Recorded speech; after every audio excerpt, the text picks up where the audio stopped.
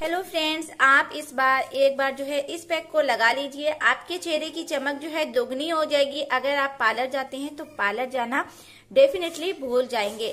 तो आइए इस पैक को बनाते हैं। इससे आपके चेहरे की झुर्रियाँ हैं, झाइयाँ हैं रिंकल्स हैं। सारी प्रॉब्लम आपकी दूर हो जाएगी। हमें इसमें लेना है एक चम्मच बेसन। तो ग्रैंड फ्लोर बहुत ही आसानी से आपको मिल जाएगा। बेसन क्या करता है, हमारी स्किन को जो है, डेड स्किन जो होती है, उसको हटा देता है। उसके बाद में हमें इसमें लेना है मुल्तानी मिट्टी पाउडर। मुल्तानी मिट्टी पाउडर हमारी स्किन जो ढीली पड़ गई है, उसको टाइट करता है। वह हमारी स्किन में जो है गिलो लेकर आता है, स्किन में चमक आती है और साथ ही साथ जो गर्मी में आपके चेहरे पे पिंपल्स निकल रहे हैं, वो दिक्कत आपकी दूर हो जाएगी इस रेमेडी के इस्तेमाल से। तो इसमें दो चीज़ें हमने ले लेनी है, दोनों ही चीज़ें बहुत ही सिंपल सी हैं। आपको बहुत इजी से मिल जाएँगी और ये बहुत ही इजी है इसको बनाना। आप बहुत आसानी से अपने चेहरे को जो है गोरा सुंदर बना सकते हैं।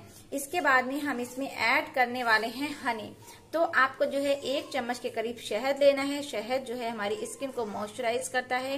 हमारी स्किन में चमक लेकर आता है। हमारी स्किन में जो है निखार लेकर आता है। स्किन का जो ग्लो खत्म हो गया है, चमक खत्म हो गई है, वो चमक आपकी वापस से आ जाएगी। ये बहुत ही अच्छा फेस पैक है जो आपकी स्किन को एकदम से ग्लोइंग और टाइटनिंग व्हाइटनिंग बना देगा। तो एक चम्मच आपको हनी भी इसमें ऐड करना है। साथ ही इसमें आपको अब क्या लेना है? हमें लेना है इसमें कच्चा दूध। जी हाँ दोस्तों, आपको इसमें कच्चे दूध के साथ इस पैक को बना के जो है तैयार कर लेना है। तो इसमें हम डालेंगे ज़रूरत के मुताबिक जितने में हमारा ये पैक बन जाए, उतना लगभग आप इसमें डाल लीजिए दूध।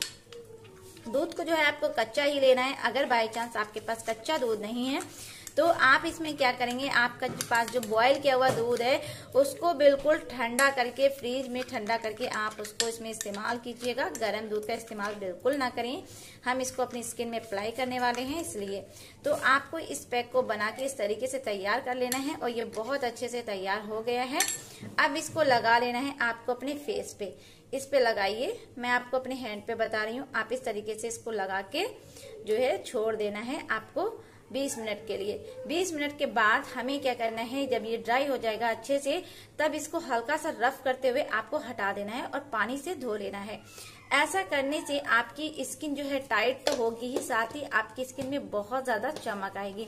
यानी कि महँगे से महँगा फेशियल भी इस पैक के सामने बिल्कुल बेकार है। आप डेली इसको लगाइए या फिर हफ़्ते में दो से तीन बार लगाइए।